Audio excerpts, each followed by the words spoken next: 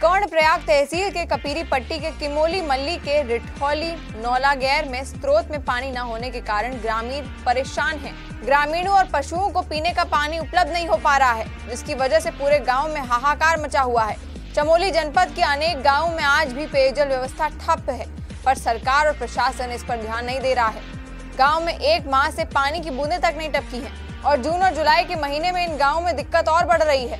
Live Uttarakhand के लिए चमोली से गिरीश चंदोला की रिपोर्ट। एक बहुत परेशान आई हम होने। लड़का की सगाई से। अर्का के जान हम पानी खोण बनाना पानी नीचे लोक में क्या दो दूर दूर से।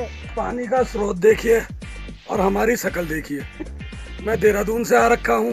ये मेरी बहन आ रखी है। तीन रातों से हम यहाँ रोज पानी की लाइन लगा रहे हैं। पानी तो यहाँ है नहीं। इस प्रकार से हम कैसे गुजारा करेंगे और यहाँ हमारे यहाँ शादी समारोह है। हम बहुत समस्याग्रस्त हैं और बहुत परेशान हैं। बड़े बुज़ुर्ग भी बेचारे बंटे लेके और गागरे लेके यहाँ रखे उत्तराखंड की हर खबर देखने के लिए सब्सक्राइब करें लाइव उत्तराखंड और बेल आइकन दबाना ना भूलें।